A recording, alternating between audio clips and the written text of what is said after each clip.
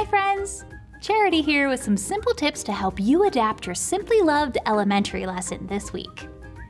This lesson is called Jesus Talks with a Samaritan Woman, and the Bible point is Jesus loves everyone. Thank you, Jesus. Follow along in your leader guide and let's work our way through the lesson together. I'll give some tips for creating video lessons and ideas for adapting the activities for smaller, physically distance groups of children at church or in a home church setting.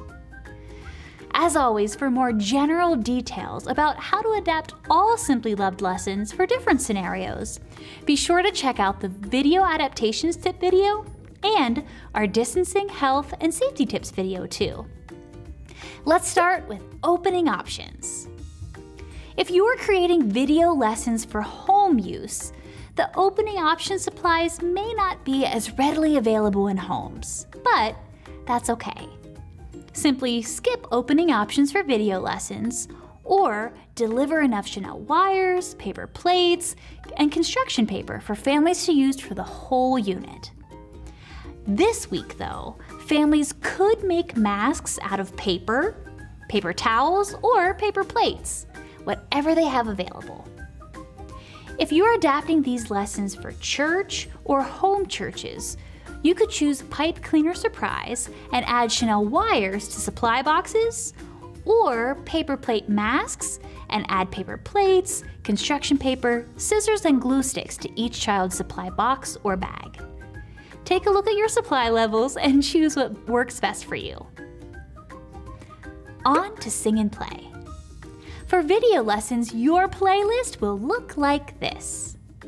Simply Loved strategically alternates the same songs throughout each quarter.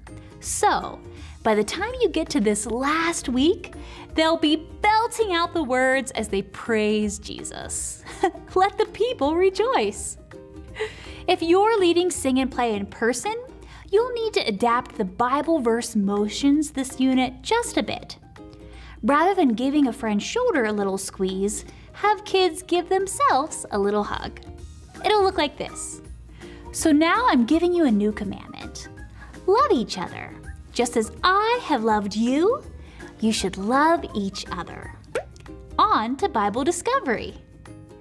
Let's talk video lessons first. For heart of the matter, you won't be able to see what viewers are wearing. So pick whatever color you'd like. Realizing that everyone in the room will still hear you, you can still try to talk sweetly and extra warmly with those wearing that color. Maybe even invite them to have the best, most comfy seat in the room. Only direct that chit chat to them and ignore the others who may be watching. Then debrief as written then experience the Bible story as written. Yippee! now, let's talk about leading Bible discovery in person. Choose your color, let's say green. Treat kids wearing green with extra kindness. Now, don't have them gather together or come forward, but specifically move toward them and give a foot five or comment on how glad you are to see them specifically. Basically, make it seem like you're playing favorites. Then, debrief as written. No more tweaks for the rest of the Bible story. For now, simply skip the high fives at the end. On to apply it options.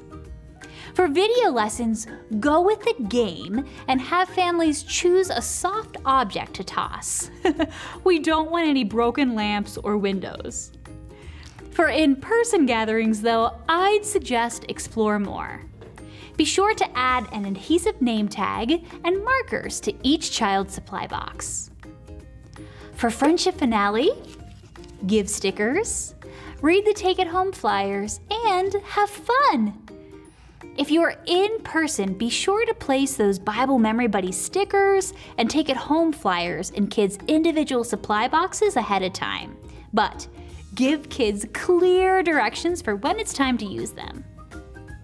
Friends, Jesus loves everyone. Thank you, Jesus.